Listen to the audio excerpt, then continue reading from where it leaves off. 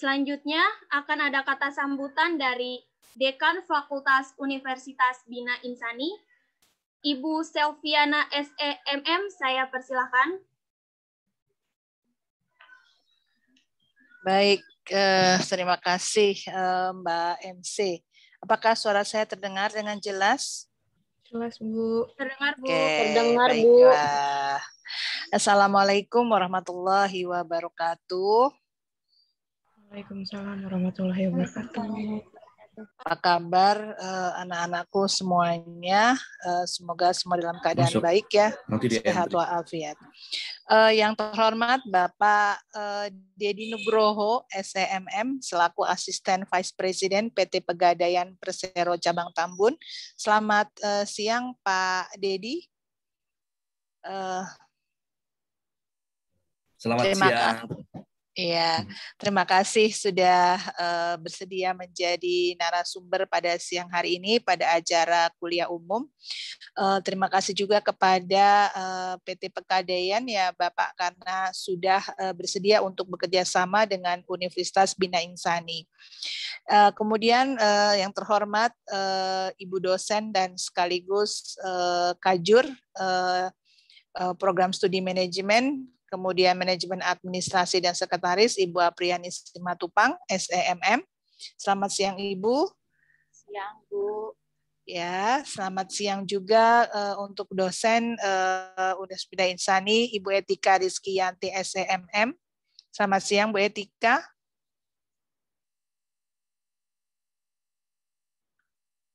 Oke. Okay. Baiklah, pada hari ini uh, anak-anakku sekalian, uh, kalian berkesempatan ya mendapat suatu kesempatan emas ya. Uh, judulnya cocok sekali dengan kalimat yang saya ungkapkan di sini bahwa kata atau ungkapan emas itu adalah uh, sesuatu yang um, sangat bagus ya dan sangat berharga. Kesempatan pada hari ini sangat berharga. Uh, adik-adik semua uh, akan mendapat kuliah umum tentang mungkin topiknya investasi ya.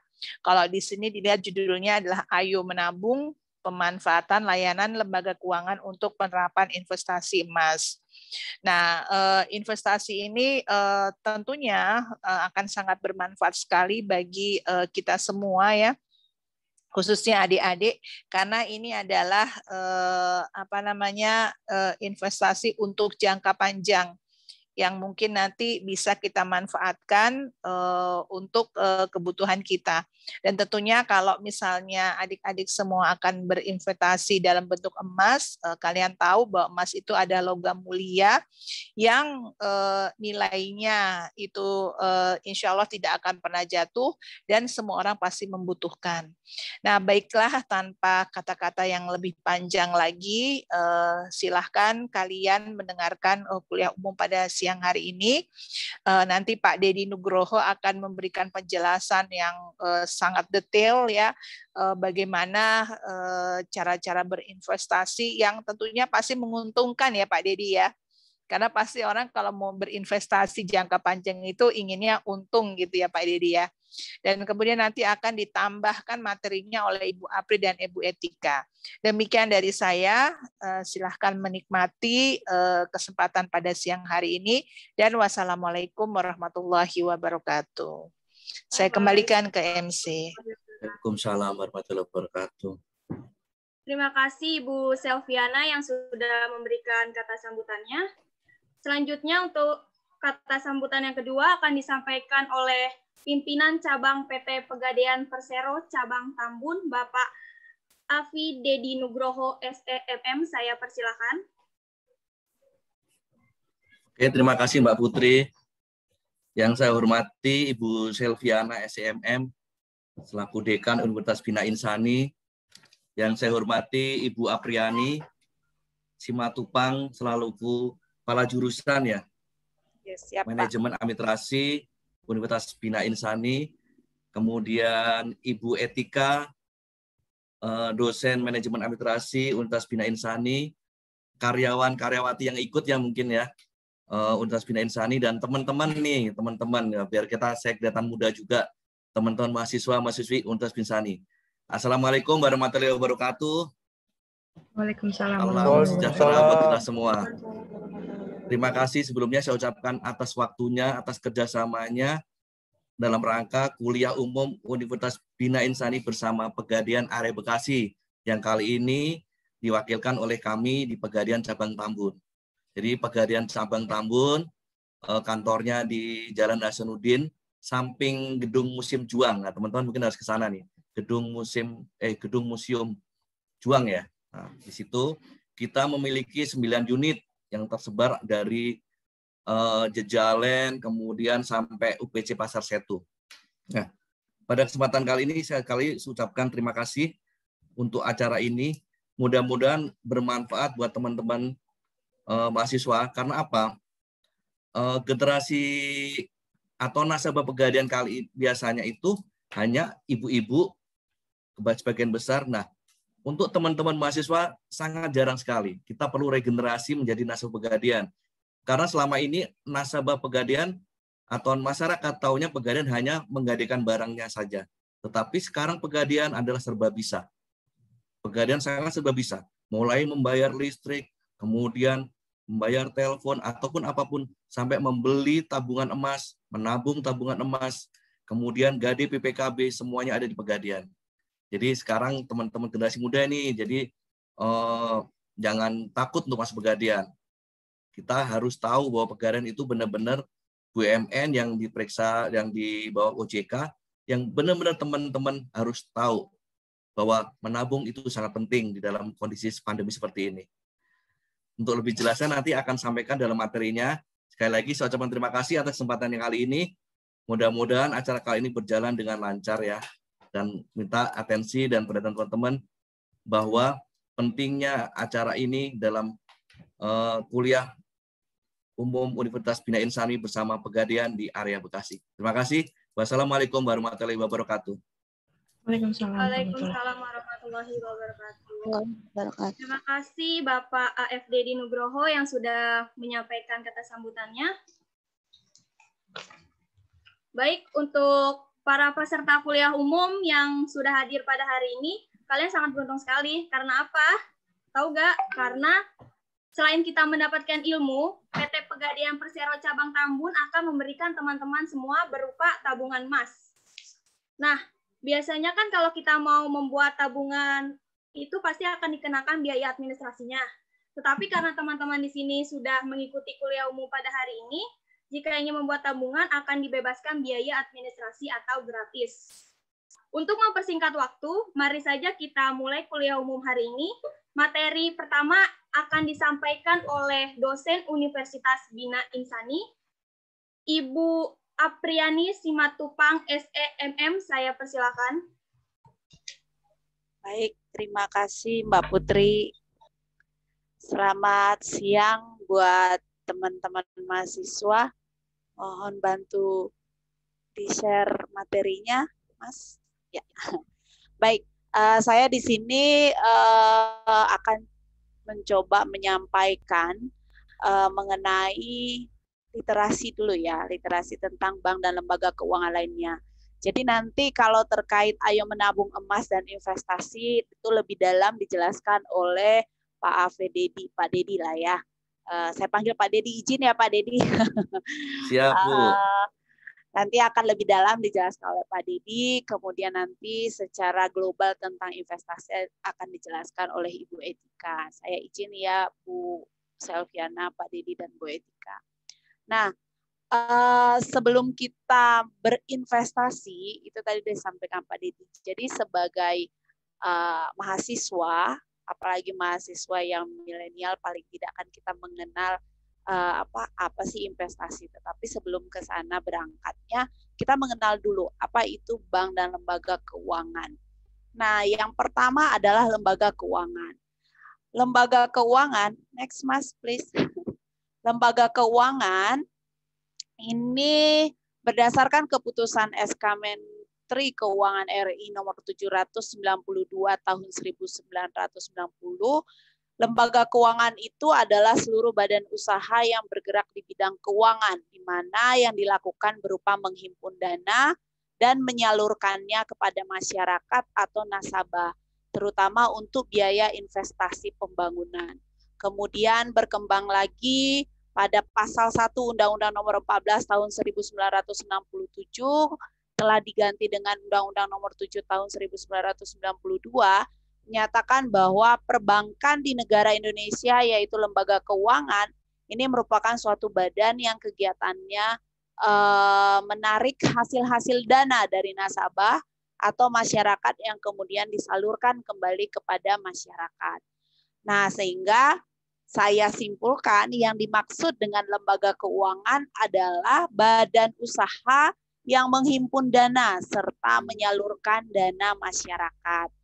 Kemudian di Indonesia lembaga keuangan ini eh, diawasi oleh otoritas jasa keuangan atau yang kita kenal dengan OJK.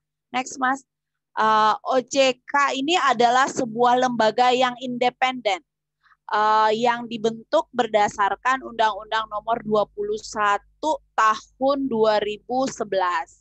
Nah, OJK ini uh, tugasnya adalah melakukan pengaturan dan pengawasan uh, terkait seluruh sektor jasa keuangan. Gunanya buat apa? Gunanya supaya kita tidak uh, apa ya, tidak terpancing dengan sering ya kita dengar istilah investasi bodong seperti itu ya. Nah, salah satu lembaga yang uh, mengawasinya siapa? OJK.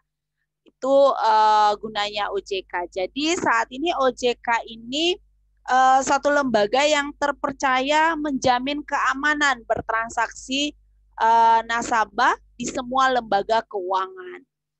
Nah, kalau lembaga keuangan itu sendiri terbagi atas, ada yang disebut dengan lembaga perbankan.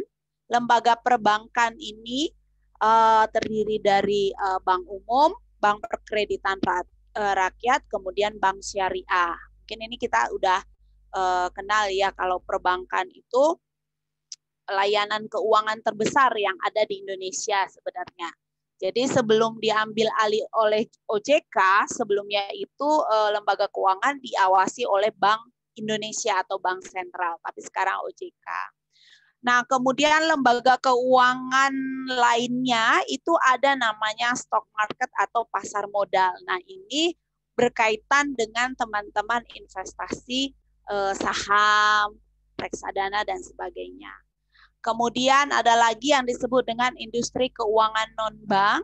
Industri keuangan non-bank ini terdiri dari asuransi, kemudian dana pensiun, kemudian lembaga pembiayaan, kemudian uh, financial uh, financial teknologi. Nah, ini yang sering kita kenal sekarang itu fintech. Fintech pun diatur oleh OJK dan diawasi oleh OJK. Kemudian ada lagi namanya lembaga khusus yaitu terdiri dari Lembaga Pembiayaan Ekspor Indonesia atau LPEI, kemudian perusahaan pergadaian, kemudian lembaga penjamin, lalu ada namanya perusahaan pembiayaan sekunder perumahan, lalu ada namanya PT Permodalan Nasional Badani atau Persero, dan PT Dana Reksa atau Persero. Nah ini semuanya adalah lembaga keuangan ataupun baik itu perbankan atau bukan perbankan yang diawasi oleh OJK. Jadi ini eh, kami dari pihak akademisi menyampaikan supaya kita sebagai konsumen yang sudah udah duduk di bangku kuliah paling tidak memahami oh saya kalau mau melakukan investasi paling enggak yang di bawah atau yang diatur oleh OJK. Supaya apa? Supaya menghindari hal-hal yang tidak diinginkan seperti uh, apa ya? Kita sudah kalau teman-teman pernah dengar kita sudah buat apa? kayak investasi eh tahu-tahu investasi uangnya hilang gitu kan. Nah, kalau kita investasinya di bawah lembaga keuangan yang diatur OJK ya mudah-mudahan minimal itu nggak akan hilang gitu. Contohnya kan pernah kalau teman-teman pernah dengar berita ada salah kirim yang Bank BCA misalkan nah lembaga keuangannya yang salah kirim tetapi uangnya kan kembali dan uh, di di apa namanya dibantu oleh pihak yang berwenang bagaimana caranya untuk meminimalisir eh, masalah-masalah kemungkinan yang akan terjadi. Nah, itu untungnya ketika kita mengenal lembaga-lembaga keuangan yang diatur uh, oleh OJK gitu. Selanjutnya, nah ini ya lembaga keuangan uh, baik perbankan maupun uh, non bank. Selanjutnya, Mas next. Nah, ini pada kegiatan kali ini kita menitik beratkan pada uh, industri pegadaian ya. Nah, teman-teman mau lihat kalau melihat di berbagai tempat, teman-teman pasti sering uh, melihat ada PT Pegadaian, bukan pegadaian saja, ada yang swasta juga, bukan Persero maksud saya. Nah, teman-teman bisa lihat kalau berdasarkan data OJK itu daftar pelaku usaha pegadaian konvensional yang berizin dan terdaftar di OJK per Juli 2020 ada kisaran 86 perusahaan. Salah satunya adalah PT Pegadaian Persero. Kemudian pelaku usaha pegadaian syariah yang berizin uh, per Juni 2020 ini datanya per Juni 2020 itu ada lima perusahaan. Nah, artinya begini teman-teman, ketika teman-teman mau investasi atau mau menggunakan jasa PT Pegadaian, PT Pegadaian itu sudah jelas hmm, terdaftar di bawah OJK. Dalam arti eh, ketika teman-teman mau berinvestasi, eh, kita sudah oh ternyata ada eh, apa ya tingkat keamanannya lebih lebih apa ya lebih terjamin seperti itu. Nah kemudian Nah, pada materi kuliah kita kali ini, kita menitik beratkan kepada pegadaian itu sendiri. Oke, okay, next. Nah, kita lihat apa sih, uh, apa namanya? Next, Mas, please. Nah, apa sih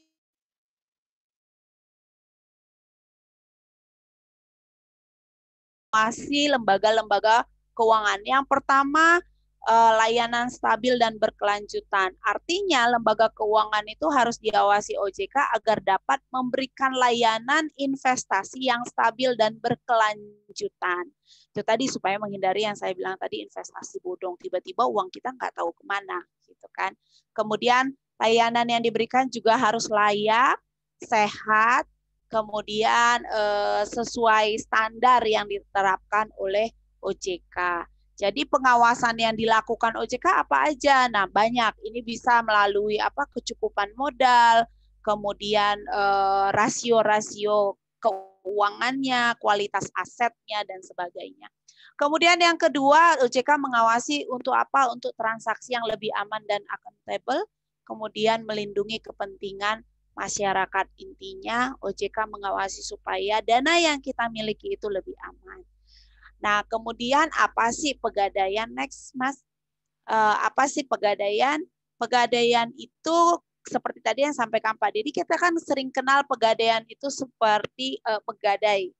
Nah, produk utamanya kan menggadai gitu ya. Ada yang kita kenal dengan KCA, kredit cepat aman, kemudian ada Krasida dan sebagainya. Nah, yang menarik di sini adalah yang belum kita kenal dan saya sendiri pun belum mengenal secara dalam mengenai investasi yang dikeluar uh, yang dihasilkan oleh pegadaian yang kita sebut dengan investasi emas. Kalau di sini dikatakan investasi emas ada tiga, yaitu investasi emas mulia, tabungan emas, dan konsinyasi emas. Nah, di sini lebih dalam kita akan mempelajari bagaimana tabungan emas.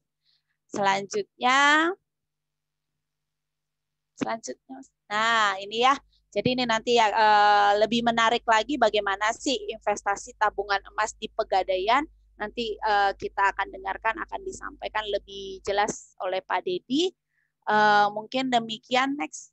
Demikian uh, pengenalan dari saya terkait dengan bank lembaga keuangan supaya teman-teman ketika menggunakan jasa lembaga keuangan intinya adalah kalau uh, kita dari keuangan harus uh, lebih apa ya? Kalau istilahnya sikapi uangmu gitu ya. Sikapi uangmu dengan bijak, cerdas mengelola masa depan sejahtera supaya keuangan Anda lebih aman dan lebih uh, terjamin. Terima kasih demikian dari saya terkait dengan lembaga keuangan. Uh, selanjutnya terkait investasi, saya serahkan ke Mbak Putri. Silakan. Terima kasih.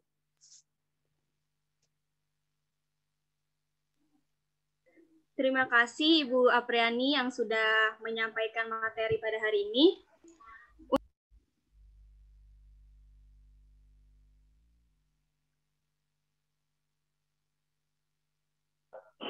Mbak di mute suaranya Mbak. Mbak Putri suaranya di mute. Baik, terima kasih untuk Ibu Apriani yang sudah menyampaikan materi pada hari ini. Untuk sesi tanya jawab akan ada di akhir acara setelah para pemateri menyampaikan seluruh materinya. Buat para peserta yang sudah mempunyai pertanyaan di akhir acara, kami sudah menyiapkan hadiah atau reward yang sangat menarik untuk tiga pertanyaan terbaik. Jadi disiapin ya pertanyaannya kalau ada yang ingin ditanyakan. Selanjutnya materi yang kedua akan disampaikan oleh dosen Universitas Bina Insani mata kuliah bank dan lembaga keuangan lainnya, Ibu Etika Rizky Yanti SEMM. Saya persilakan. Baik, terima kasih Putri. Oke, Assalamualaikum warahmatullahi wabarakatuh. Suara saya terdengar jelas ya, teman-teman mahasiswa? Terdengar, Bu. Salam jelas, Bu.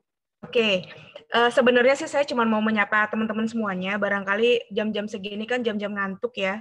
Jadi kalau yang nggak jawab tuh mungkin lagi ngantuk-ngantuknya. Jadi saya uh, saya coba tegur teman-teman semuanya barangkali uh, ada yang ngantuk atau mungkin ini kan kalau saya lihat ya Bu ya jarang ada yang nyalain video nih. Kalau boleh, kalau boleh nih ya, kalau boleh uh, dibuka videonya. Saya mau lihat teman-teman yang hadir hari ini. Oke, okay. semua semuanya kan kalau sudah buka video. Oke. Okay. Uh, Iya, baik. Teman-teman semuanya, kalau tadi Bu Apri sudah menjelaskan beberapa materi mengenai bank dan lembaga keuangan, terus juga tadi Bu Apri juga sempat menyampaikan bahwa kita harus men, uh, tadi uh, tagline-nya OJK ya Bu ya, sikapi uangmu dengan bijak gitu. Uh, kenapa sikapi uangmu dengan bijak? Karena memang uh, sebuah investasi itu harus dipersiapkan dari kalian masih muda. Jadi mumpung kalian masih muda di generasi-generasi milenial ini, saya yakin sekali teman-teman semuanya ini uh, biasanya habit-habit dari teman-teman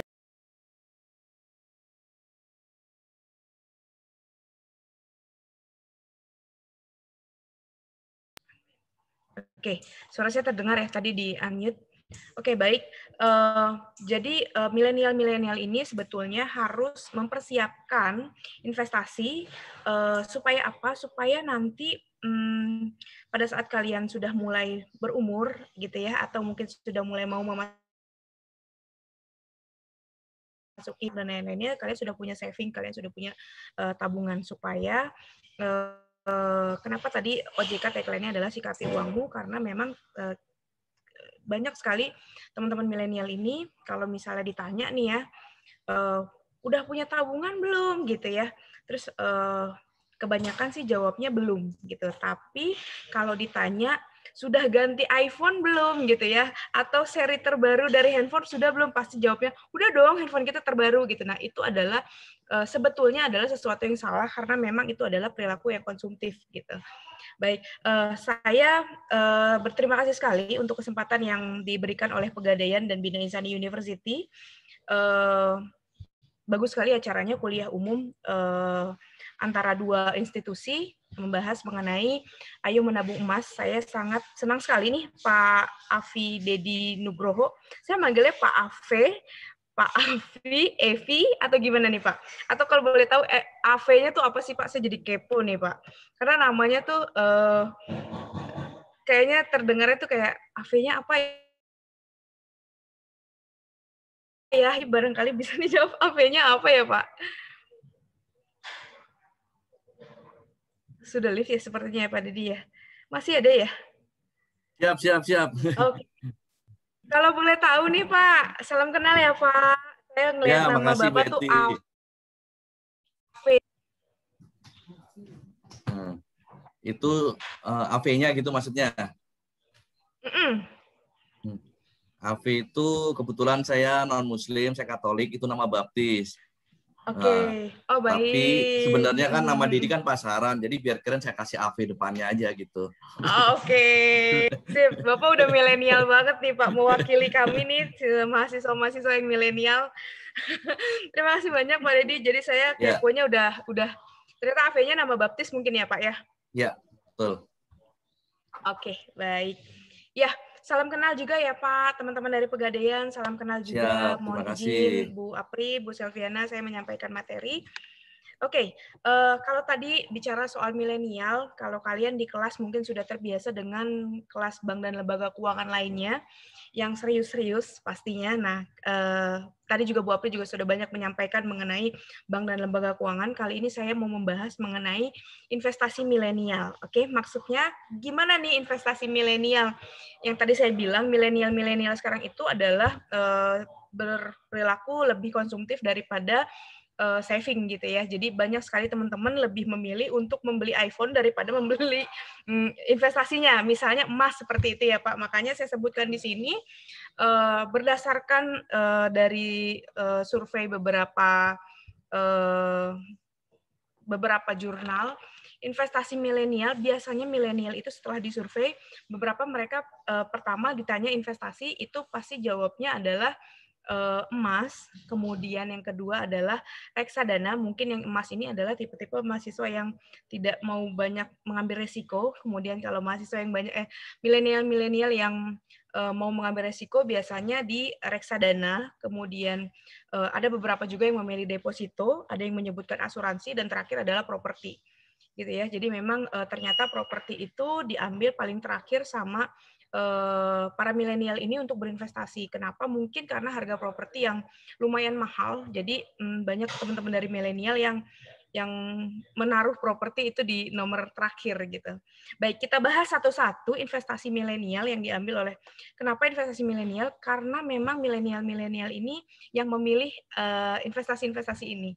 Pertama kita bahas adalah investasi emas. Eh, nanti akan dibahas secara rinci sekali oleh eh, teman-teman dari Pegadaian. Eh, saya hanya mengupas sedikit saja kenapa banyak milenial yang memilih investasinya emas. Karena pertama adalah emas menjadi salah satu investasi yang menjadi pilihan utama. Sebenarnya sih untungnya lumayan banyak yang tadi saya bilang karena memang banyak teman-teman yang tipenya lebih yang tidak mau ngambil resiko. Jadi uh, kita berinvestasinya yang aman-aman aja nih. Biasanya teman-teman milenial pilihnya adalah emas. Yang pertama adalah likuiditasnya tinggi. Jadi uh, emas bisa ditukar, kemudian cepat bisa dijual untuk jadi uang. Kenapa dibilang liquid? Karena memang uh, sangat cepat sekali untuk dijadikan uang. Kemudian uh, bisa dijual di mana aja. Kemudian yang selanjutnya itu kualitasnya tetap. Jadi emas akan tetap seperti itu saja uh, berkurang sih kadarnya ya Pak ya biasanya uh, kalau dipakai tapi kalau misalnya kita belinya emas batangan mungkin kualitasnya akan tetap segitu aja. Kemudian yang uh, ketiga bisa investasi dengan dana kecil. Ini yang paling dipilih milenial karena memang investasi dana yang dibutuhkan untuk para milenial untuk berinvestasi emas itu sangat sedikit, jadi tidak terlalu besar dan sesuai dengan kemampuan dari si milenial-milenial ini yang bergaji atau berpendapatan nggak terlalu besar. Oke, yang selanjutnya adalah uh, emas itu cenderung meningkat. Jadi nilainya itu tetap atau meningkat gitu ya. Yang terakhir yang biasanya teman-teman pikirkan pada saat berinvestasi adalah pajak. Emas lebih uh, kalau kita menyimpan emas biasanya uh, investasi yang bebas dari pajak kalau nggak ketahuan gitu ya Pak. Kalau misalnya beli di kalau beli kan di toko emas biasanya kita jarang sekali dikenakan pajak gitu. Oke, itu yang biasanya uh, milenial pilih. Kenapa milenial-milenial ini memilih uh, berinvestasi emas? Nah, itulah kenapa kami uh, tertarik sekali begitu pihak pegadaian menaw um, kita uh, ada perbincangan untuk uh, membahas mengenai investasi emas karena memang teman-teman dari masih milenial nih Pak, masih masuk dalam milenial atau mungkin agak turun sedikit ke bawah di generasi Z. Jadi uh, saya rasa ini cukup bagus sekali untuk uh, teman-teman mahasiswa dan uh, lainnya. Baik, uh, selanjutnya tadi saya sempat membahas mengenai reksadana dan saham. Uh, kenapa uh, saya tulis juga di sini, saya bahas sedikit mengenai saham karena kita bisa belajar dari uh, Warren Buffett. Jadi kalau misalnya teman-teman hmm, fakultas ekonomi, tentunya fakultas bisnis, uh, pasti nggak asing dengan nama ini selalu ada di buku-buku kalian gitu ya. Ternyata Warren Buffett ini adalah uh, seorang investor dari reksadana. Oke, okay? di umur 11 tahun dia membeli saham pertamanya. Bayangkan di umur 11 tahun dia sudah membeli saham. Kalian sudah umur berapa? sudah memikirkan investasi kah gitu ya? Uh, Oke, okay, lanjut lagi. Kemudian di umur 30 dia sudah menjadi milioner dan di umur 50 dia sudah uh, 56 dia sudah menjadi bilioner bukan milioner lagi. Kemudian uh, di umur 78 dia menjadi salah satu orang terkaya di dunia. Uh, karena apa? Karena karena dia berinvestasi gitu ya. Jadi banyak teman-teman bisa pilih instrumen-instrumen investasi. Kalau Warren Buffett lebih memilih untuk investasi saham, tentunya investasi saham ini juga akan dipilih oleh teman-teman yang uh, suka dengan tantangan, suka dengan resiko tinggi. Biasanya orang-orang akan memilih saham karena keuntungan yang didapat tinggi tapi juga resiko yang dihasilkan juga uh, lumayan cukup tinggi juga gitu. Jadi itu uh, sedikit pembahasan saya mengenai reksadana ataupun saham. Yang selanjutnya adalah investasi yang dipilih milenial ini adalah deposito. Eh, teman-teman uh, pasti sudah banyak sekali yang tahu mengenai deposito di bank mana pun. Ada uh, nominal investasi dari deposito-deposito uh, dari berbagai bank di Indonesia. Contoh ya, misalnya eh, Bank eh, ICBC Indonesia itu menerapkan eh, persentase bunganya itu 6,5, kemudian selanjutnya Bank Mayora, BTN, dan lain-lainnya. Kenapa saya tuliskan di sini? Intinya adalah seperti ini. Kalau misalnya ada investasi deposito itu adalah buat saya, buat saya itu merupakan salah satu tolak ukur jadi apabila ada orang yang menawarkan investasi misalnya, ayo investasi di saya, misalnya seperti itu ya kan sekarang banyak tuh ya ada arisan-arisan, ada investasi-investasi yang lain-lain. Nah, kalian ukur dengan bunga deposito. Kalau misalnya dia di bawah bunga deposito berarti investasi itu tidak terlalu menarik. Oke. Nah, kalau misalnya di atas investasi di atas bunga deposito maka investasi itu bisa jadi menarik. Tapi kalian pelajari dulu nih. Misalnya nih ada uh, yang menawarkan investasi yang bunganya 20% misalnya atau 15% dua kali dari bunga deposito. Kalian harus cek lagi nih, tadi yang seperti Bu Apri bilang, kalian harus cek lagi di ojangan begitu kalian menabungkan atau menginvestasikan uang kalian, uh, uangnya jadi hilang gitu ya kurang lebih seperti itu. Jadi kenapa saya taruh bu, eh, angka bunga deposito? Ini juga informasi pengetahuan juga buat kalian. Kalau misalnya ada yang menawarkan investasi, lihatlah bunga deposito saat ini hari ini, gitu ya, eh, buat teman-teman milenial. Oke, okay. selanjutnya eh, tadi ada yang menuliskan mengenai asuransi. Jadi eh, banyak beberapa teman-teman yang hanya menyebutkan asuransi kita sering dengar asuransi, asuransi, asuransi gitu ya, asuransi dan investasi, asuransi. Ada yang menggabungkan ini asuransinya include dengan investasi gitu. Nah, kalian harus tahu dulu nih, kalian harus pelajarin dulu bedanya apa sih menabung, investasi dan asuransi. Oke, okay? kalau menabung biasanya eh, kita menyimpan uang, kemudian kita dapat bunga, misalnya 4% per tahun gitu ya, atau mungkin 4 sampai 5% per tahun. Oke, okay? Investasi. Kalau investasi itu apa sih gitu ya? Investasi adalah untuk um, menempatkan sejumlah uang uh, pada produk yang dikelola oleh perusahaan sekuritas misalnya seperti itu ya atau uh, sesuatu yang kalian beli kemudian nilainya akan naik di kemudian hari. Oke, okay? dengan pertumbuhan nilai 15 sampai 20% per tahun. Selanjutnya ini yang tadi dibahas asuransi uh, orang selalu menyebutkan asuransi dan investasi. Sebetulnya itu adalah dua hal yang berbeda. Asuransi itu adalah merupakan untuk proteksi uh, proteksi diri untuk mengantisipasi risiko yang terjadi di masa depan. Jadi kalau dibilang asuransi bisa dijadikan investasi belum tentu gitu ya. Jadi asuransi adalah untuk meminimalisir resiko yang kalian dapat. Misalnya nih, kalian sudah menginvestasi uh, ber, memakaikan asuransi gitu ya. Seharusnya uang yang kalian keluarkan untuk asuransi uang apabila kalian sakit itu dapat harus mengeluarkan misalnya 20 juta gitu ya. Nah, kalau kalian sudah pakai asuransi, uh, asuransi mengproteksi dan mengcover bisa seluruhnya, bisa separuhnya. Jadi uang yang harusnya kalian keluarkan untuk biaya penyakit kalian itu kalian sudah sudah proteksikan melalui asuransi. Intinya sih itu. Jadi Eh, bedakan lagi mengenai investasi dan asuransi. Jadi banyak sekali perusahaan asuransi yang menawarkan ini dibundling sama investasi, nanti bisa diambil misalnya seperti itu. Uh, intinya adalah investasi is investasi, asuransi ya asuransi.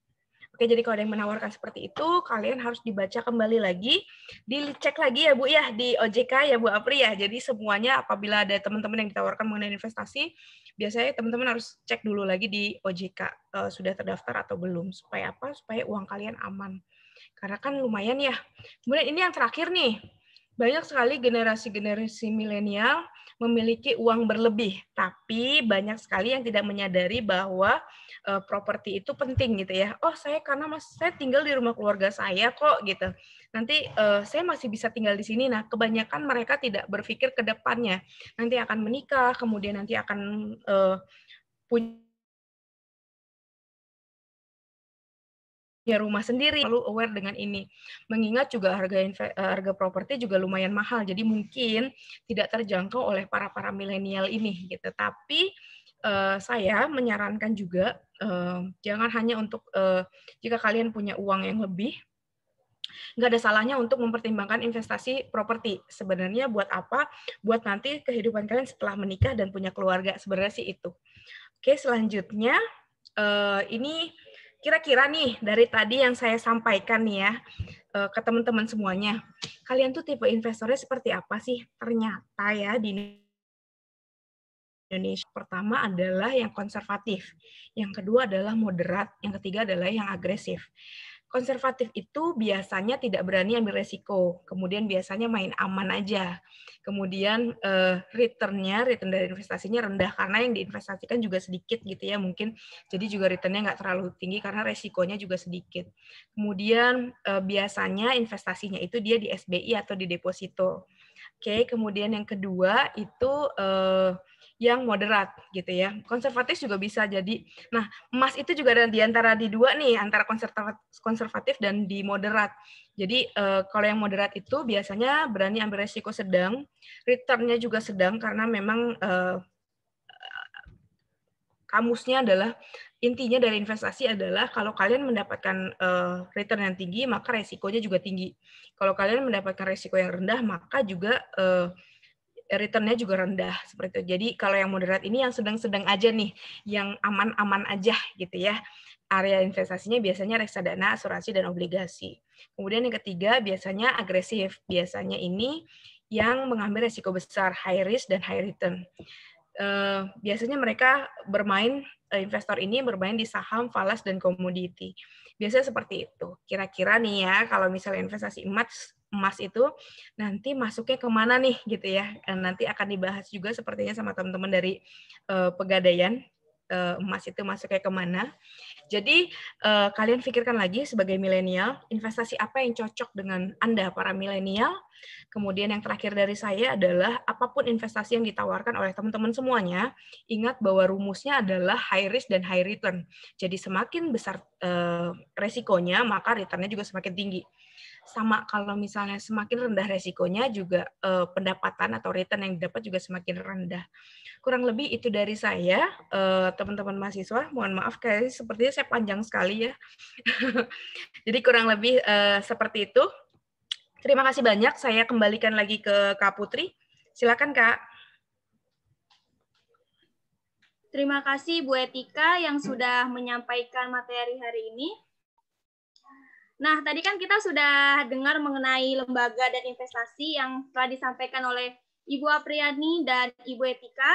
Agar lebih jelasnya lagi mengenai lembaga dan investasi itu sendiri, terutama di Pegadaian, kita akan lanjutkan ke pemateri selanjutnya yang akan disampaikan oleh pimpinan cabang PT Pegadaian Persero cabang Tambun, Bapak Ave Dedi Nugroho SEMM. Saya persilakan.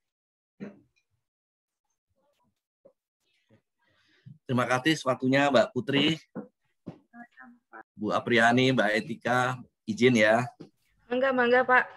Materinya keren-keren nih, uh, jadi merefresh saya kembali. Keren-keren dan up, update banget, jadi ya menambah wawasan saya juga. Oke Mas. Oke langsung saja ya. Kalau tadi dijelasin nama Bu Apriani tentang lembaga keuangan, uh, kemudian Bu Etika uh, jenis-jenis investasinya. Jadi kalau kalau saya di sini uh, hanya menerangkan nanti tentang apa itu menabung emas di pegadaian. Ya. mungkin kalau teman-teman milenial nih ya, kalau yang saya lihat saya perhatikan termasuk anak saya udah mainnya main saham, ya kan main saham. Nah, seperti yang dikatakan Bu Etika tadi kan, high risk, high return. Nah, itu anak-anak milenial selalu menghadapi tantangan-tantangan yang keren-keren. Nah, tapi kalau eh, nanti di emas ini itu investasinya jangka panjang, kemudian emang rendah itunya. Apa itu namanya? Investasinya seperti kayak deposito. Jadi aman. Kemudian uh, intinya itu hanya mencicilkan lah. Intinya saku kiri ke saku kanannya. Jadi biar nggak uh, apa itu pembelian handphone, kemudian gaya-gaya anak muda sekarang nggak travelingnya sih dikit lah. Nah, kita tahu lah anak-anak milenial sekarang kan keren lah. Nah, biar tahu aja nih bahwa emas itu ternyata sangat aman sekali. Bahkan pelan-pelan disisihin sedikit-sedikit, nanti lama-lama menjadi bukit. Apalagi istilahnya kalau dipegang sekarang, menabung sedikit-sedikit, sedikit-sedikit menabung emas. gitu ya. Oke, nah kita lihat ya perubahan gaya hidup yang dulu kan sandang, pangan, dan papan. Itu yang dulu itu. Tapi karena sekarang nih, udah sepatunya udah keren. Sepatu anak sekarang kan, waduh keren-keren kan. Kemudian handphonenya.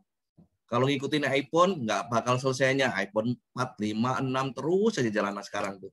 Nah kemudian untuk gaya travelingnya, sekarang siapa yang nggak mau jalan-jalan? Habis jalan-jalan, habis status di IG, di Jogja, itu kan. Itu yang perlu ini gaya hidup sekarang nih keren-keren anak milenial. Oke mas, next mas. Nah, hidup itu nggak mahal, yang mahal itu gaya hidup, ya kan? Nah, istilahnya kan sekarang anak-anak kan apa itu namanya hukum alamnya itu gaya lu yang gede, itu kan? Nah, kenapa penting berinvestasi? Tadi udah disampaikan ke Bu Etika, kemudian Bu Apriani kan Eh, tingkat inflasi, kemudian masa produktif dan tidak produktif. Kita kan ada masa produktifnya. Teman-teman sekarang lagi gagah-gagahnya ini termasuk kita kita karyawan muda. Suatu saat kita ada masa tidak produktif. Nah, itu akan bermanfaat di akhir hidup kita. Kemudian untuk kebutuhan dana darurat. Kalau kita tidak menabung pas suatu saat kita butuh biaya rumah sakit atau apa pun, nah itu sangat penting penting. Di sini kalau di itu menabung 5%, investasi 10%. Kemudian gaya hidup 10%. Sekarang gaya hidupnya 10%. Kemudian untuk zakat dan sosial 5%, dana darurat 5%, asuransi 5%, dan cicilan. Nah ini gaya hidup cicilan yang paling penting nih, 60%. Next, Mas. Nah, jadikan menabung dan gaya dan investasi sebagai gaya hidup, salah satunya dengan emas. Kenapa investasi emas? Seperti disampaikan tadi Bu Etika, nilai emas tahan terhadap inflasi. Jadi saya dulu kerja di Pegadaian dari tahun 95, emas 20 ribu. Harganya saat uh, saya ingat tuh orang gade, saya dulu uh, pertama di Jogja, orang gade mesin ketik dapatnya 20 ribu. Emas 1 gram 20 ribu. Sekarang berapa harga mesin ketiknya? Udah mahal. Emas masih uh, tahan terhadap inflasi itu. Kita lihat nih. Ini dihitung dari 2007 ya. Kalau saya tadi saya contoh dari 95 saya emas 20 ribu. Tahun 2007 emas 206 ribu. Sekarang kita beli emas sudah hampir satu juta yang harga update terakhir ini. Bahkan bahwa kalau dimundurin lagi waktu eh, reformasi 98 itu dari 50 ribu dua kali lipat ke 100 ribu. Tapi emang ya begitu. Lambat lambat. Itu kayak nggak ada kenaikan aja. Lambat lambat. Tapi nggak kerasa. Tau udah beli udah mahal ya gitu kan. Termasuk saya kerja di Pegadian.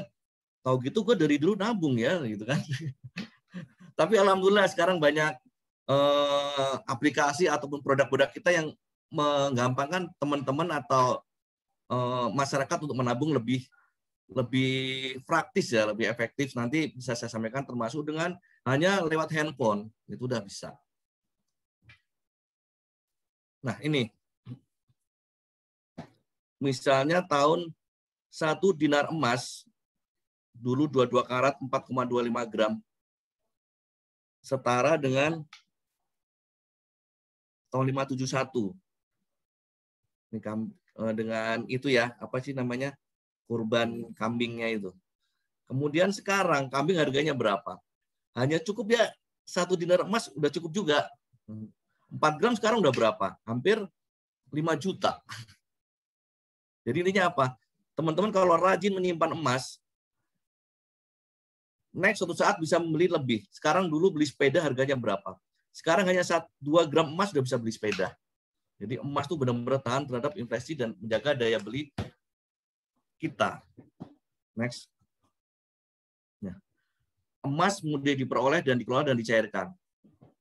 Jadi eh, teman-teman nih, kalau sudah beli emas di pegadaian ataupun di mana pun di toko emas, nah itu baik dibawa ke mana pun, seperti Antam, ataupun emas lainnya, eh, bisa digadekan, kemudian bisa dijual, eh, atau kalau di kita bisa namanya di uh, di buyback nanti, di buyback Mas ya.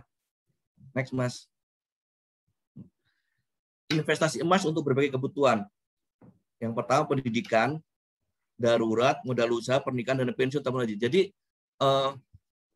apalagi yang produk terbaru sekarang di Pegadian, nasabah hanya membutuhkan emas uh, sekitar berapa gram ya?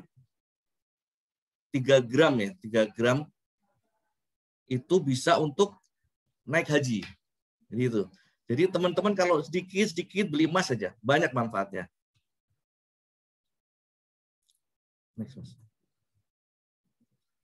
Investasi emas di Pegadaian membantu perencanaan masa depan yang lebih baik. Nanti saya jelaskan. Next, Mas. Nah, di sini. Kenapa harus di Pegadaian?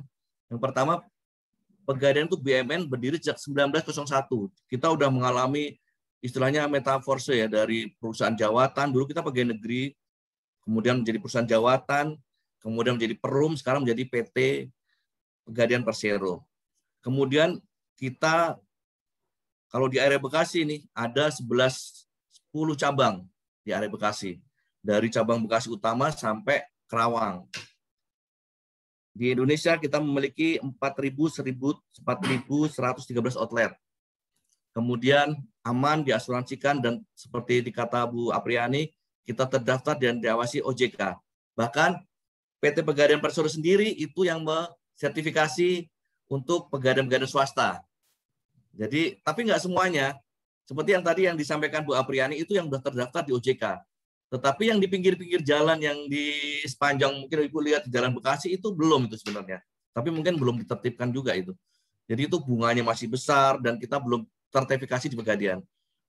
Bahwa kita juga mengeluarkan sertifikasi untuk para penasir-penasir yang sudah terdaftar di OJK itu. Jadi semua harus melalui Pegadian yang eh, yang sudah dapat sertifikasi itu. Kemudian proses transaksi mudah, cepat, dan aman. Karena memang banyak sekali fitur-fitur yang diciptakan untuk kaum milenial supaya lebih cepat. Bahkan hanya melalui handphone saja sekarang udah bisa jual, kemudian gade lewat handphone saja tanpa datang ke outlet. Oke, Mas. Nah ini. Jadi ada tiga channel di Pegadaian. Yang pertama, teman-teman ini datang ke outlet Pegadaian. Ya mungkin pertama kali nggak apa-apa lah buat daftar atau seperti tadi kan nanti kata uh, dari kita kan dapat tabungan emas nih. Nanti bisa langsung tuh kalau pegadaian. Kalau enggak ya lewat nanti download pegadaian digital. Nanti itu bisa tuh untuk melakukan apa pun transaksi yang dilakukan teman-teman. Yang kemudian lewat agen pegadaian. Jadi kita ada namanya agen-agen pegadaian juga. Jadi itulah tiga channel kita. Nah, seperti buka tabungan emas, beli emas, jual, transfer emas, cetak emas, dan gade tabungan emas. Semua bisa di pegadaian digital. Jadi misalnya teman-teman nanti kan udah dikasih tabungan emas nih, dibukain sama kita, siap nih. Kemudian rajin tiap hari nabung. Nah, nanti bisa itu. Udah ngumpul, diklik nih, saya mau nabung lah, ah 5 ribu, 10 ribu, kita bisa. Minimal 0,01. Harga sekarang berapa ya? Saya belum lihat nih. Harga per hari ini 9.100 0,01 gram. Berarti artinya segramnya 910 ribu. Nah, kalau kita jual hari ini 8.550. Karena kalau di dalam jual beli emas kan ada harga beli, harga jual ya, seperti di saham ya. Teman-teman kalau saham pada pakar-pakar nih, anak-anak muda nih. Kan? Kalau di emas, intinya itu hanya menyisihkan saja lah. Misalnya, seperti saya kasih contoh, saya punya tukang parkir yang dijaga di Pegadaian. Dia ngumpulin uang buat bayar kontrakan kalau dia nggak disisihkan itu kan sebulan harus mengajar katanya kosnya lima eh kontrakannya lima ratus ribu. Dia tiap hari store sepuluh ribu, sepuluh ribu ke pegadaian nih. Udah ngumpul segram sama dia di buyback, dijual kembali buat bayar kontrakan dia. Jadi intinya apa? Uh, kalau kita nggak menyisihkan, kata dia habis juga uang uang dia buat jaga parkir kan dia. Jadi dia setiap hari sepuluh ribu aja ke pegadaian. Ibu di bank, di bank pasti kan nggak enak nabung sepuluh ribu kan. Di pegadaian bisa sepuluh ribu. sepuluh ribu, sepuluh ribu. Atau kalau anak-anak muda tiap gini aja lah, dua tiga puluh ribu lah sehari lah, apa dua puluh ribu. Ya. Nggak kerasa itu. Intinya itu aja kalau pegadaian itu aman, kemudian menyisikan gaya hidupnya sedikit saja kan, sedikit sedikit nggak kerasa nanti, teman-teman. Nah, nanti di situ bisa nih, kita ada tiga, namanya uh, dijual emasnya kalau udah berapa nih saya ah, aku pengen beli handphone lah ya gitu kan di handphone. Itu jual berapa? Udah dapat 3 gram, 3 gram berapa harga jualnya? Bisa beli di situ. Jadi kita banyak membantu menyisihkan uang sedikit-sedikit gitu ya. Kemudian untuk pembiayaan mikro, kemudian pembiayaan ibadah haji, semua bisa dilakukan di Pegadaian Digital. Nanti habis ini teman-teman download ya Pegadaian Digital ya. Jadi jangan game aja, jadi sedikit aja kita Pegadaian menabungnya itu dikit. Kalau di sini menabung itu istilahnya eh, nggak uh, harus tiap hari nggak apa-apa. Seperti kayak menabung di, di itu aja di bank. Jadi nggak harus kewajiban tetapi kalau dilakukan dengan rutin pasti akan mendapatkan saldo yang besar. Bukunya seperti ini. Nah ini ini bukunya nih seperti ke bank. Tapi kalau teman-teman milenial mah uh, sekali aja datang cetak buku ambil buku di pegadaian ataupun nanti bisa diantar nanti ya sama Mas Ardi ya. Datang ke apa Bina Insani membawa bukunya. Udah sekali datang udah bukunya nggak usah dicetak juga nggak apa-apa. Seperti teman-teman di bank kan juga nggak pernah cetak kan. Nanti lewat ini aja. Sehari nggak nabung juga nggak apa-apa. Tapi kalau ada rezeki sisin dikit sedikit jadi nggak ada kewajiban di sini seperti menabung pada seperti bank lainnya. Oke mas next nah ini yang tadi yang sebut pegadaian tabungan emas dia dapat bertransaksi secara online pembeliannya mulai dari 0,01 tadi yang 9.100 tadi hari ini tiap hari berubah. Kemudian emasnya 24 karat. Jadi ada tiga vendor nanti di sini. Berarti bukan berupa perhiasan ya, berupanya LM. Jadi di sini teman-teman nanti bisa kalau udah 5 gram bisa dicetak. Kemudian bisa di buyback. Atau kalau mau nggak sayang emasnya kena harga jual beli tadi kan 9.100 ke 8.500 kan masih sayang nih dijual. Ya digade aja. Bisa digade. Jadi emasnya nggak hilang. Jadi hanya digade. Nanti Eh, teman-teman ada uang lagi bisa ditebus lagi. Jadi sangat praktis sekali. Kemudian buka rekening mulai dari 50 ribu. Tadi 50 ribu udah ditanggung sama tadi panitia tadi kan, udah dibukain, ya kan. Jadi 50 ribu, 50 ribu ini udah free, tadi kan nanti dibukain. Kemudian mudah dicairkan, itu kan digade atau dijual. Kemudian aman terdaftar dan diwasi oleh OJK. Jadi di sini prinsipnya beli, kemudian dijual dan dititip. Jadi teman-teman udah nggak bawa lagi emasnya di tenteng-tenteng kotak gitu. Kalau fisiknya kan seperti nah ini kalau fisiknya kan seperti ini. Sekarang yang terbaru Antam ini ya. Jadi udah press sertifikat baik segram, 5 gram, 100 gram semuanya sama. Antam ini. Nah, ini vendor kita, tapi kita nggak satu aja kan, nggak boleh monopoli ya. Sekarang kita ada namanya dari UBS, boleh Lotus Archie banyak.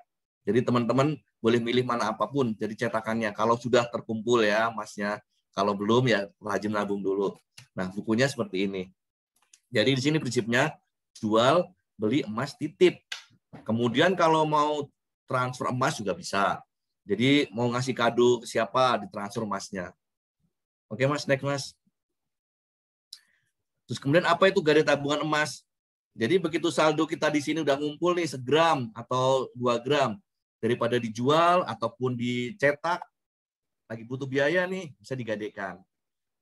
Prosesnya juga ada di pegadaian digital di sini.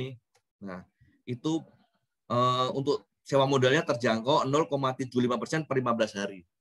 Uh, jadi misalnya kalau satu juta berarti 0,75 persennya 750.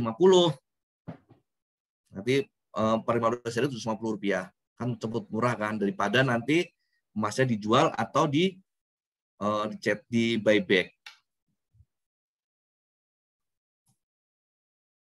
Nah, kalau yang pegadaian mulia cicil emas ini, ini bedanya. Kalau ini biasanya disukain orang-orang yang tertib nih. Misalnya direncanakan, saya mau ambil emas eh, lima eh, satu gram enam bulan nih atau lima gram enam bulan. Tiap bulan dia harus membayar cicilannya emas itu selama enam bulan itu. Gitu. Bedanya di sini. Dan nggak boleh lewat. Jadi misalnya di sini uang mukanya 15% kalau cicilan. Ini disukain buat teman-teman yang eh, apa ya semangat menabungnya tinggi. Jadi saya pengen punya emas 5 gram nih dalam enam bulan atau dalam 12 bulan. Ikut program ini. Pegadaian mulia atau cicil emas. Jadi selama 12 bulan kita membayar cicilannya selama 12 bulan. Angsuran tetap. Dan nggak boleh lewat. Nah, kalau nabung emas tadi yang ini, itu kan kita nggak wajib nih. Kalau kita malas, kita nggak dapat dapat emasnya kan. Kalau yang di Pegadaian Mulia Cicil ini, teman-teman rajin, eh mau nggak mau harus bayar cicilannya gitu aku mau ambil 5 gram nih. Kalau ini sekarang eh, trennya arisan. Jadi teman-teman bikin enam orang nih. Arisan uang kan udah biasa nih. Nah, buat latihan-latihan arisan emas segram dulu lah. Ngisin 700 ribu. Kalau 5 gram sekarang kita terima 700 ribu. Nanti eh, kalau emasnya misalnya enam orang, kemudian bulan depan siapa yang dapat nih misalnya Bu Apriani ikut ikut tadi sama Bu Etika Bu Apriani keluar nih dan itu emasnya bisa keluar segram gitu eh 5 gram tadi begitu ya jadi bedanya di yang tadi tabungan emas tadi yang ini lebih tertib jadi untuk teman-teman yang memprogramkan saya gua 12 bulan harus punya emas 5 gram nih jadi gitu dia bisa transaksi secara online kemudian emasnya lengkap dari 0,5 sampai satu kilo lah, satu kilo mah luar biasa lah. Kemudian jarak jaminan emasnya sama 24 karat. Kemudian uang mukanya 15 persen, mudah dicairkan, aman dan terdaftar di diawasi OJK.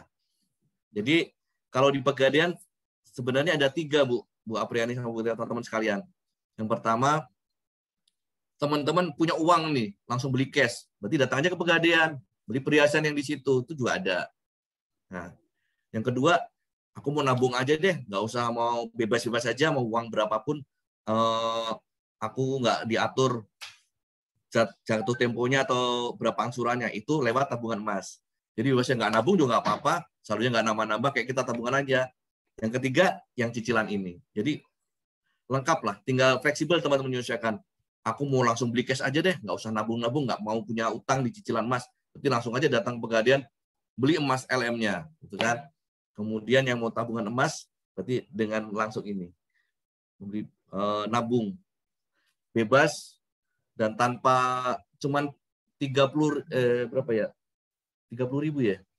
30 ribu biayanya selama satu tahun. Nah kan murah banget kan? Jadi eh, 30 ribu kalau dibagi setahun berapa ya? Berarti perharinya kan kecil. Biaya administrasinya 30 ribu ini setahun. Itu ya. Oke teman-teman ya. Ibu, Bapak, Ibu sekalian, saya ucapkan terima kasih. Nanti kalau ada pertanyaan sudah disampaikan. Jadi intinya saya hanya menyampaikan teman-teman tahu lah kebutuhan milenial tuh ya seperti handphone pasti kita nggak uh, nutup diri ya. Ah, tadi gaya hidup, styling, tapi kita ngingetin aja sedikit demi sedikit menabung, menabung emas sedikit-sedikit, sedikit aja.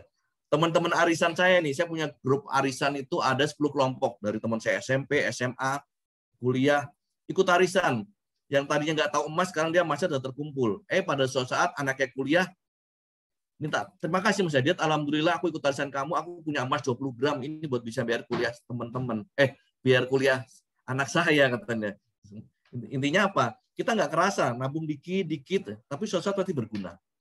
Oke, saya cuma terima kasih atas perhatiannya Ibu Apriani, Ibu Etika. Semoga bermanfaat dan silakan ayo menabung emas di Pegadaian mana saja, khususnya di area Bekasi. Terima kasih. Wassalamualaikum warahmatullahi wabarakatuh. Waalaikumsalam warahmatullahi wabarakatuh. Waalaikumsalam warahmatullahi wabarakatuh. Terima kasih Bapak Feide Nugroho yang sudah menyampaikan materi hari ini. Untuk sesi selanjutnya kita akan masuk ke sesi tanya jawab. Jika para peserta ya ada yang belum jelas, ada yang belum dimengerti, bisa langsung ditanyakan saja mumpung ada narasumbernya. Kalau ada yang mau ditanyakan langsung aktifkan audionya atau ditanyakan melalui kolom chat.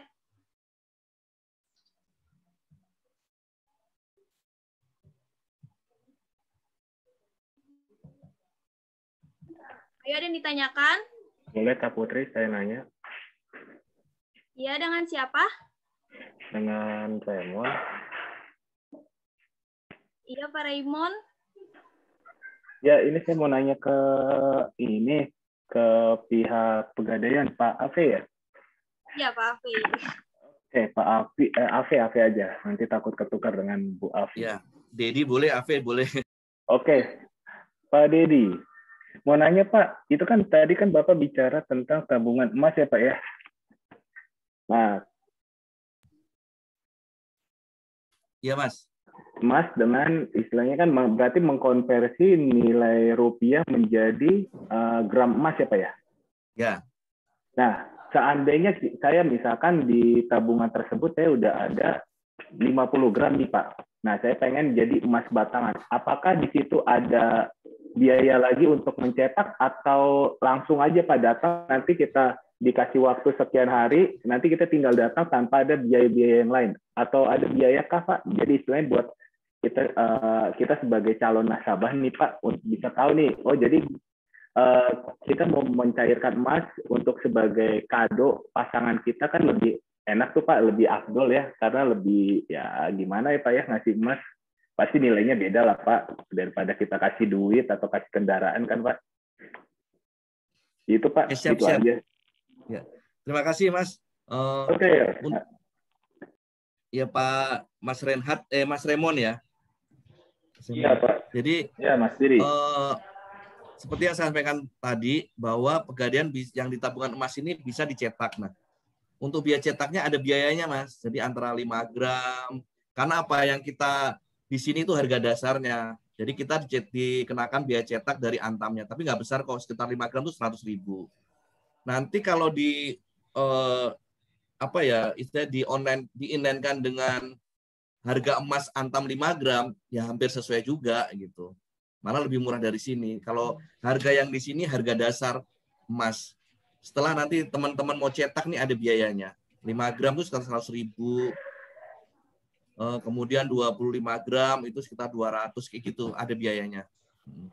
cuman Nah, ya nggak nggak nggak nggak besar. Tapi begitu kita inline-kan dengan misalnya harga emas 5 gram berapa yang tertera hari ini. Seperti hari ini harga 5 gram misalnya harga 5 gram berapa ya?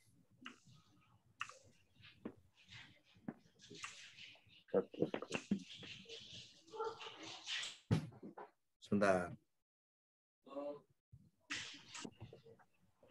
Karena tiap hari berubah takut salah saya. Sepertinya Pak Remon ini konsumen dari eh konsumernya pegadaian nih Pak, tahu sekali seperti Iya. Nah, misalnya harga sekarang 4 4,7. Nah, 4,7 kan harga emas tadi kan 91. Nanti kalau dicet di eh, inlinkan dengan biaya cetaknya masih sesuai Nah, gitu. Harga sekarang 5 gram 4,7. Itu Pak Mas Remon ya. Eh, dikit lagi Pak, dikit lagi Pak. Maaf Ya, nih. Pak, agak bawal nih Pak. Tuh kan. Pak, bener kan Pak? Nasabah nih Pak. Ibu Etika Hebat masih dong berarti muda, masih muda udah ini. Ya, masih muda banget, Pak. masih Nasabah muda beli ya nih. Pak. Ya gimana Mas Remon? Oke, jadi gini Pak, Eh, kan kita kayak apa namanya si tabungan pegadaian ini, apakah bisa kita apa namanya balik nama? Jadi seandainya saya mau ngasih daripada saya cetakin, udahlah, ini saya kasih ke orang tersebut, tapi langsung saya tukar namanya jadi nama dia, bisa nggak sih Pak? Pernama. Balik nama istilahnya, kayak kendaraan gitu Pak. Jadi kalau emas ini, ini kan berupanya kalau dibukukan berupa saldo ya. Jadi berapapun yang disetorkan Mas Remon itu rupiahnya udah hilang nih. Jadi keuntungannya di situ. Jadi misalnya misalnya saya nih kemarin nabung harga 500 ribu. 500 ribu kan dapat dulu segram. Begitu harga sekarang 900 ribu lebih kan. Berarti 500 ribu di situ udah hilang. Jadi jadi eh, hit- hitungannya udah mas saya segram tapi udah harga 900 ribu gitu kan. Jadi itu. Iya. Terus emas itu kalau misalnya Mas Remon mau balik nama itu tinggal ini aja ditransfer aja. Jadi emas tuh nggak nggak ada nggak nggak nggak ini ya tidak tidak siapa pun yang pegang buku tabungan ya berarti saldo emas itu punya emas. Tapi kalau Mas Remon mau ngasih ke temennya, temennya itu belum punya rekening di pegadaian atau belum berrekening tabungan, bisa dicetakin kayak tadi. Tapi kalau dia punya rekening ditransfer aja. Oh, sistem Aku mau transfer ngasih gitu. ya? temanku eh, emas segram nih, transfer aja segramnya itu. Pakai di ini juga bisa di pegadaian digital tadi. Transfer Oh. satu gram emas ya ke Bu Apriani, wah gitu kan. Waduh, menang banyak Bu Apri, Pak. Oke, Maksud- makasih Mas Dedi. Iya, oke, oke, terima kasih Mas Raymond ya. Izin Ya, Pak. Dedi, eh, maksudnya kalau kalau misalkan nih saya punya buku eh, apa tabungan emas, Ya. kemudian saya mau transfer ke Bu Etika, itu bentuk eh, transfernya itu emas gram atau nilai uang. Nilai gram yang tertera di sini, Bu. Karena nil- Oh. begitu Ibu menabung di pegadaian, itu nilai rupiahnya udah hilang. Karena udah dikonversikan menjadi gram emas hari itu juga. Jadi misalnya besok harganya emas naik, nilai nilai rupiahnya sudah nggak ada. Jadi saldo yang tertera di sini, yang di sini sudah gram. Jadi saldo Ibu nanti berkurang segram kalau Oh. ditransfer ke Bu Etika segram. Gitu. Oke. Oh. Kasih Ya. Ditunggu ya Bu Apri transferannya. Ya. Terus yang tadi Mas Raymond kan mau ngasih kado apa itu katanya ke temennya. Sekarang di Pegadaian mau 0,5, 0,1 juga ada. Bentuknya lucu-lucu. Buat kado ulang tahun pernikahan. Saya kemarin baru beli nih. Ya? Nah ini. Ini di Pegadaian nih. nih. 0,1 ya. Biar selamat ulang tahun. Sekarang lucu kan? Berupa emas. Jadi kita lengkap. Oke, Bu Apri nanti kalau saya ulang tahun ya, Bu. Ya, siap. Oke, saya juga ditunggu loh Bu Apri. Siap, siap. Ada yang lain teman-teman? Benar-benar pegadaian ini eh, milenial ya, Pak ya. Kayaknya sudah banyak pertanyaan nih, Kak Putri di kolom chat mungkin bisa dibacakan ya, Kak ya. Ya, Oh, silakan. Bu. Saya bacakan terlebih dahulu ya. Ada dari Kak Yeniwati. Pertanyaannya, konsiensi emas itu maksudnya seperti apa ya, Pak? Konsinyasi emas itu berarti ini nih, hebat ini siapa Mas? Siapa tadi ini? Yeniwati, Pak. Ini Bu Wiyanti itu pernah. Dulu konsinyasi emas itu misalnya nasabah mau kita kan dulu punya namanya pegadaian itu sebelum ada galeri 24 nasabah menitipkan emasnya ini ke pegadaian. Nah, itu kan. Kemudian nasabah menjual nih, emas dia laku. Nah, itu nanti konsinyasi nasabah dapat eh, pembagiannya 50%, eh, pegadaian 50%. Jadi gitu. Tapi sekarang karena kita sudah punya anak perusahaan galeri 24 dan kita stok kita banyak, jadi konsinyasi sudah nggak ada lagi di pegadaian. Gitu ya. Itu yang dulu karena kita dulu belum punya stok emas waktu nasabah eh, mau beli emas, kita nggak punya stok. Jadi gitu. Jadi kita menerima eh, emas dari masyarakat untuk nitipin jual di pegadaian. Itu namanya konsinyasi. Jadi nasabahnya dapat untung, kemudian pegadaian juga dapat untung dari margin penjualan itu. Heeh. Tapi saat ini karena kita udah punya stok di pegadaian, kita punya namanya Galeri 24, stok kita banyak ya. Secara eh, mungkin Ibu Apriani, Bu Etika tahu ya bahwa first, first Vivo itu kan, stok kita belum habis, secara hukumnya titipan nasabahnya juga belum bisa dijual gitu kan. Jadi lama-lama konsinyasi kita juga belum apa sudah tidak ada karena stok kita banyak. Kita kan punya Galeri 24. Otomatis kita jual stok kita dulu. Nah, baru titipan dari nasabah. Gitu ya, Mbak Yeni. Iya, terima kasih, Pak. Untuk ke pertanyaan selanjutnya dari Kak Santi Agustina, pertanyaannya, apa perbedaannya pegadaian dengan bank biasa? Terima kasih. Pega- pe- pegadaian dengan bank biasa. Ya. Kalau pegadaian, kita kan bergerak seperti disampaikan tadi Bu Bu Etika ya, apa Bu Apriani ya, yang bahwa kita lembaga keuangan khusus yang tugaskan untuk memberikan eh, jasa gadai. Nah, tapi sekarang pegadaian banyak nih. Tapi kalau perbankan kan hanya nabung uang ya. Kalau kita hanya nabungnya emas. Kemudian kita menerima pembiayaan seperti eh, emasnya bisa digadai, kemudian BPKB. Jadi kita pembiayaan, pembiayaan tapi yang BUMN, kemudian yang di bawah OJK. Jadi gitu. Kalau di sebenarnya sama-sama sih di perbankan juga menerima uh, pembiayaan juga ya.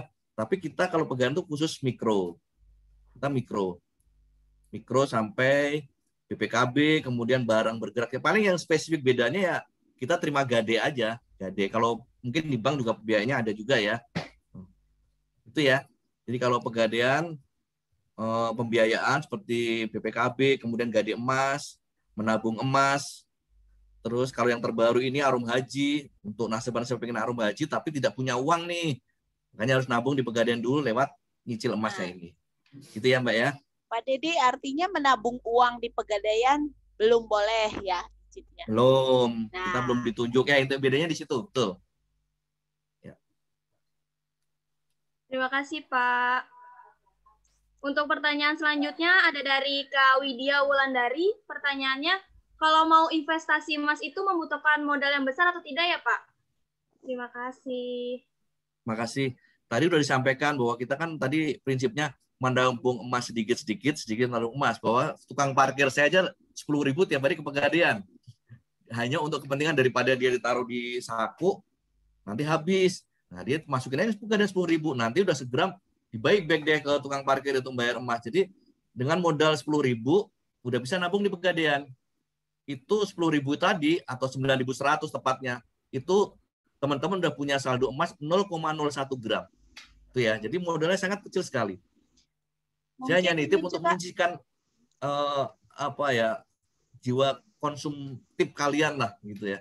Teman-teman kan gua pasti udah nongkrong di mall, kemudian ke kafe, sedikit ya sepuluh ribu, udah bisa di Pegadaian.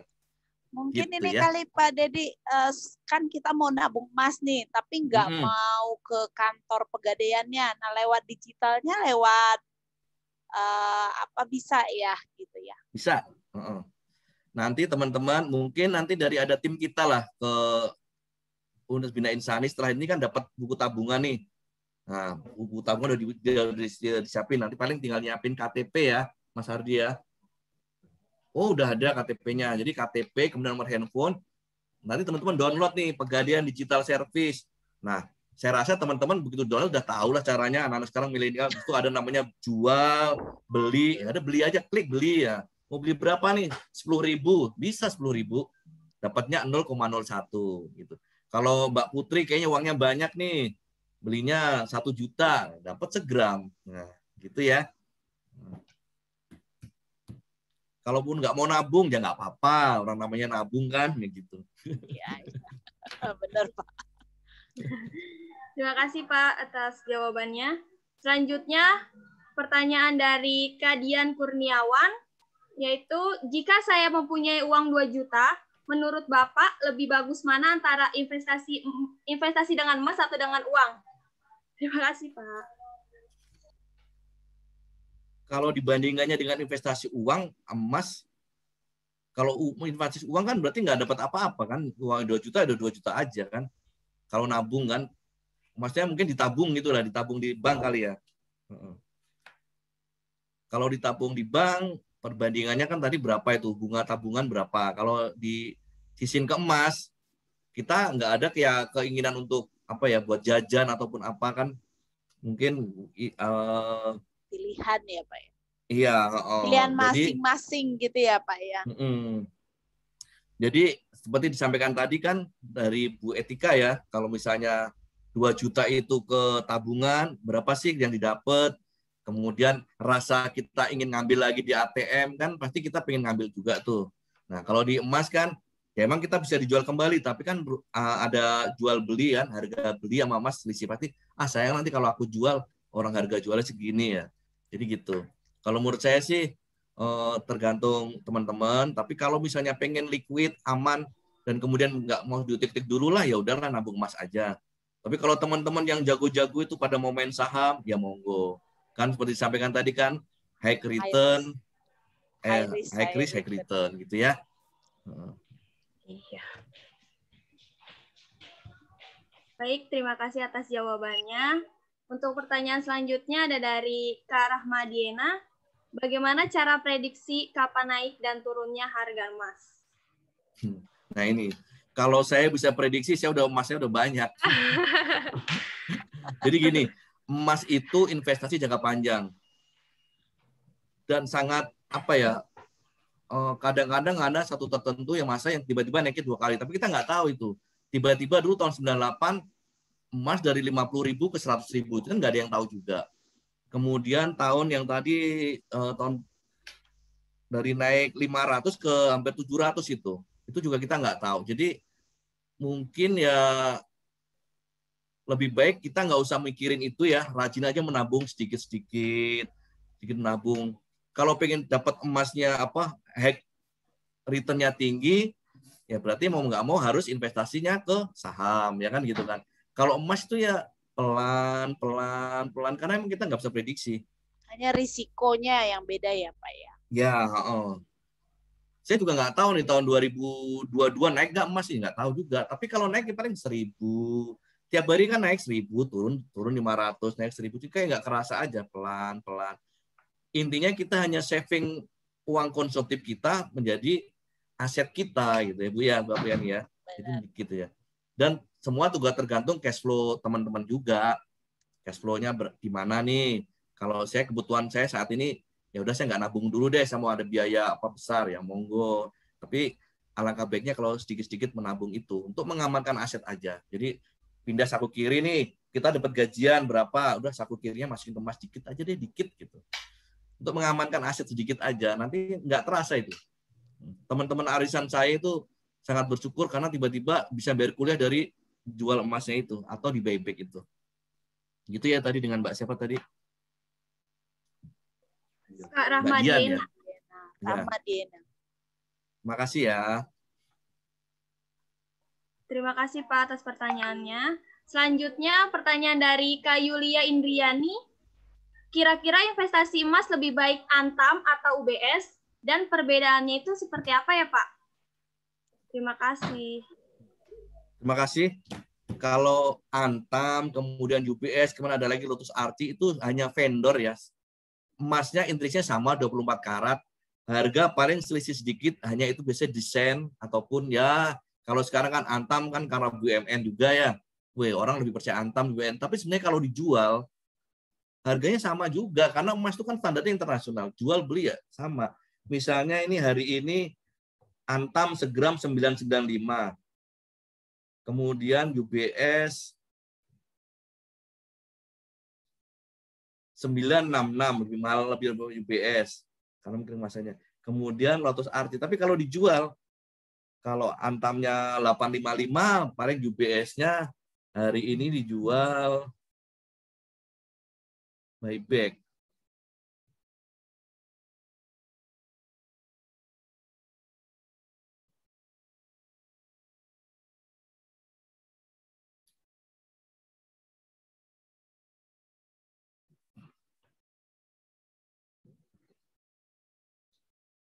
yang Antam 870, kemudian UBS 870 juga sama. Jadi gitu ya. Karena emas itu kan intrinsiknya 24 karat itu. Seperti merek baju kan antara uh, Levi's sama Lea sama Wajin ya itu kadang-kadang merek di situ. Tapi kalau emas begitu dijual harganya sama. Gitu ya, sedikit sedikit gitu. Bahkan teman-teman nih kalau punya anting patah-patah empat kalau handphone rusak kan digade apa dijual nggak bisa. Tapi kalau emas patah berapapun, kamu bawa ke pegadaian jadi uang. Karena emang hitungannya gramnya itu. Jadi gitu ya. Jadi teman-teman nanti cuma sampai rumah dicari tuh ada anting anaknya patah, bawa aja ke pegadaian laku jadi uang itu. Karena emang emasnya itu intrinsiknya itu. Jadi sama aja ya. Jadi hanya pilihan aja desainnya. Karena begitu dijual harga emas sama. Gitu ya Mbak ya. Oke. Mbak Putri, monggo. Baik, terima kasih Pak atas jawabannya. Pertanyaan selanjutnya, apakah ada perbedaan jika investasi emas di e-commerce atau di pegadaian langsung? Oh, seperti itu ya yang di Tokped, kemudian itu semua udah kerjasama pegadaian. Oh, jadi kita itu cuman channeling aja, jadi memudahkan. Kan anak-anak milenial sekarang kan taunya Tokopedia, kemudian Shopee monggo sama aja. Itu udah uh, udah uh, ini sama pegadaian juga. Nanti juga uh, bisa ngeling juga. Jadi sama aja. Mau menabung di mana pun boleh. Intinya kan uh, emas yang didapat juga nanti sama, kemudian harganya juga pasti standar sama. Oh, itu ya yang yang harga yang baru ya. Tapi kalau di toko emas itu kan karena kita belum ada sertifikasi seluruh toko emas di Indonesia, Indonesia belum ada sertifikasi emas. Jadi mudah-mudahan kalau teman-teman beli toko emas, kalau pengen cek benar keadaannya ya ke pegadaian. Tapi kalau eh, pengen yakin gitu ya, itu cek ke pegadaian. Karena kalau pegadaian udah menjadi sertifikasi untuk mengetes emas, kadar emasnya. Jadi mau Shopee atau uh, Tokped monggo, tapi semuanya nanti uh, intinya dari pegadaian untuk pegadaian digitalnya ini, pengelingnya itu. Kan pegadaian BUMN, ya gitu kan. Baik, terima kasih Pak atas jawabannya. Untuk pertanyaan terakhir ya, dari Ibu Cita Okra, Okra Priana. Pertanyaannya, apakah di tabungan emas pegadaian diperbolehkan apabila kita ingin menggabungkan beberapa tabungan atas nama berbeda menjadi satu nama saja?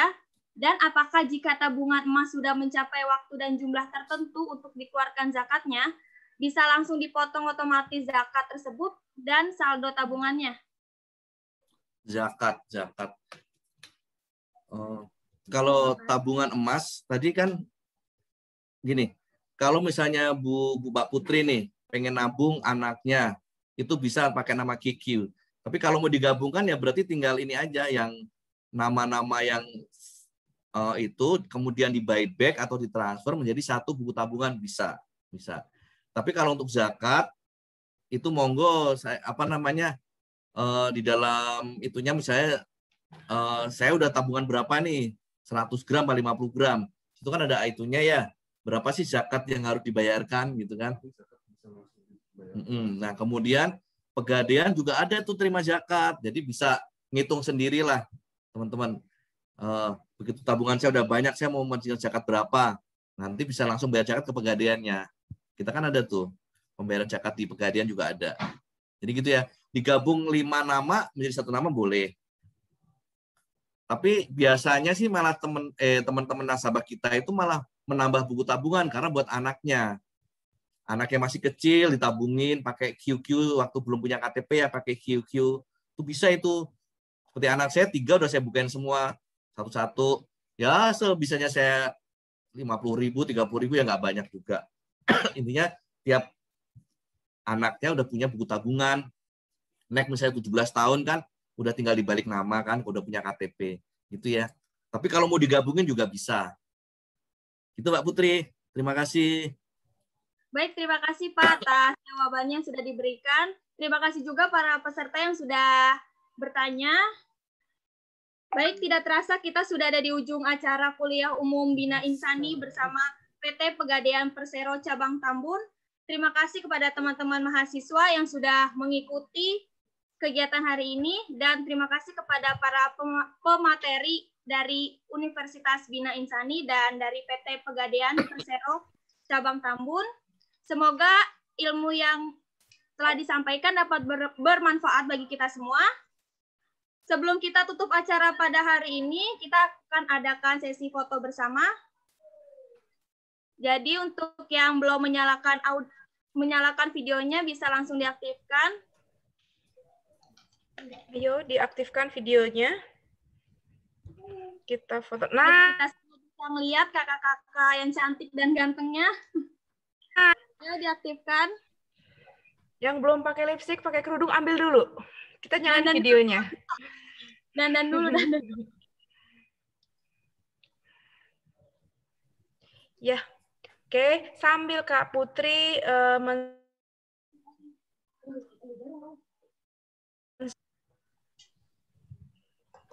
Oke. Okay. Oke, sambil di screenshot dulu ya, Kak ya. Baik. Uh, terima kasih banyak teman-teman semuanya. Terima kasih juga uh, saya sampaikan Bu Apri, Pak Ave, saya terima kasih banyak. Barangkali ada closing statement dari uh, Pak Ave selaku uh, pembicara dari Pegadaian. Monggo Pak. Terima kasih Mbak Etika, kayak masih muda ini Mbak Etika ini, ya kan? Sekali lagi saya cuma terima kasih Bu Apriani, Bu Selviana tadi, Mbak Etika atas kerjasamanya. Uh, mudah-mudahan bermanfaat buat kita semua. Intinya saya sebagai generasi kolonial ya Bu Apriani ya, menitipkan ke teman-teman milenial nih bahwa Pegadaian perlu regenerasi nasabah kita. Karena yang biasanya ibu-ibu sekarang kita minta nih teman-teman anak sadar sedikit saja meluangkan jajannya sedikit, sedikit-sedikit membeli emas. Intinya buat masa depan teman-teman. Nanti kan kalau udah ngumpul juga kan juga bisa buat traveling ataupun buat beli handphone. Dikit saja latihan menabung emas. Kita juga nggak maksa, buku tabungannya udah kita siapin. Nanti tinggal teman-teman download, kemudian ditabung sedikit-sedikit saja. Biar bermanfaat. Intinya sekali lagi ucapkan terima kasih. Eh, mudah-mudahan bermanfaat buat kita semua. Amin. Baik. Terima kasih banyak Pak Ave. Uh, mungkin dari Bu Apri atau Bu Selviana ada closing statement Ibu uh, dari Bina Insani. Bu Selviana mungkin. Dari Bu Etika. Baik. Luar biasa Pak uh, apa namanya kuliah umum pada hari ini semoga bermanfaat ya untuk teman-teman semuanya. Itu apa jahe? Ya.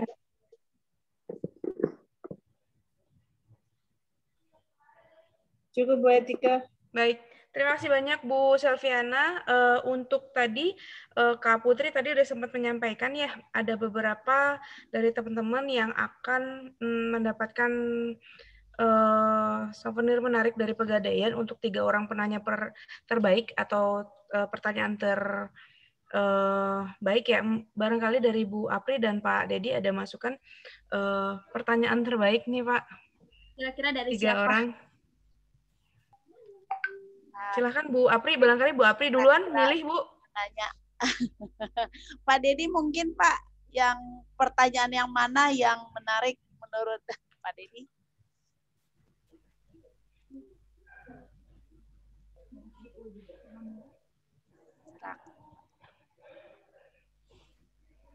Oh Ibu, ini saya dapat info dari Pak Ardi dari Pegadaian. Baik. Kalau untuk pemenangnya akan dihubungi Bu nanti. Oke, baik. Pemenangnya akan di, uh, pertanyaan terbaik akan dihubungi oleh pihak Pegadaian ya. Sudah ada kontak dan infonya. Baik, kalau seperti itu saya kembalikan lagi ke Kak Putri, Kak. Baik, terima kasih Bu. Terima kasih untuk semuanya yang telah hadir. Akhir kata dari saya, saya ucapkan wabila taufik walidayah. Wassalamualaikum warahmatullahi wabarakatuh. Terima kasih semuanya. Sampai ketemu di kuliah umum selanjutnya. Terima kasih. Terima kasih Pak Dedi, Pak Ardi, teman-teman dari Pegadaian, teman-teman mahasiswa, terima kasih banyak. Izin live ya. Terima kasih Bu Etika. Terima kasih Ibu Apriani, Bu Etika, Ibu Serviana atas waktunya.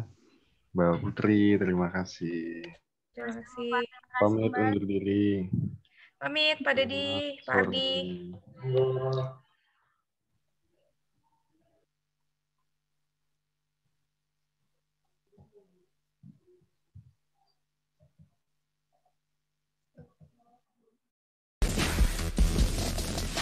yang penuh semangat.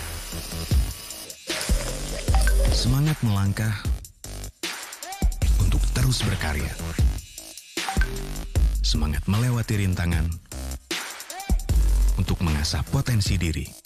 Walau ada berbagai kebutuhan yang harus dipenuhi, semangat gue nggak pernah padam karena ada yang memberikan kemudahan dalam memenuhi berbagai kebutuhan dan selalu dapat diandalkan yang memberikan banyak pilihan dan harapan. Buang jauh ragu dan teruslah maju. Dengan semangat berinvestasi demi terwujudnya sebuah mimpi. Karena gue punya semangat emas.